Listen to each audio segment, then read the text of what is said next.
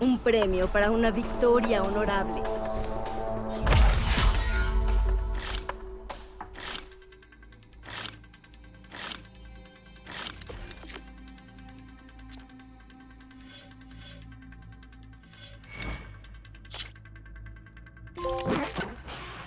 Elige una cuerda y...